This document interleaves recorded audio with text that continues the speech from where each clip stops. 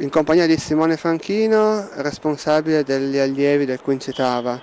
Primo anno eh, in questa nuova mansione, come ti stai trovando?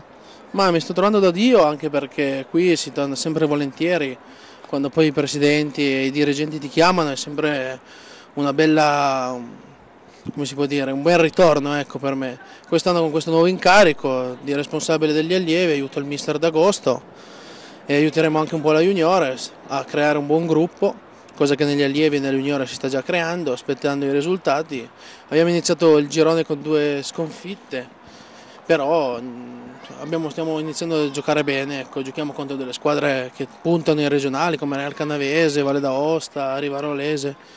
Siamo contenti anche perché il gruppo risponde bene, abbiamo una serie di ragazzi della zona e siamo contenti. Abbiamo riuscito anche a trovare due portieri, abbiamo una rosa di 18 elementi, cosa che negli allievi qua in zona, con Ivrea, Pondone e tutte le squadre intorno, non è facile da fare. Qual è il motto da dire agli allievi? Ah, gli allievi devono imparare sicuramente che devono essere educati, impegnarsi e i risultati vengono. Dopo che se c'è l'educazione a noi è già un ottimo guadagno. Il motto è giocare per divertirsi, credo come negli allievi, come nei giovanissimi e nella juniores. Poi dopo le prime squadre giustamente devono vincere.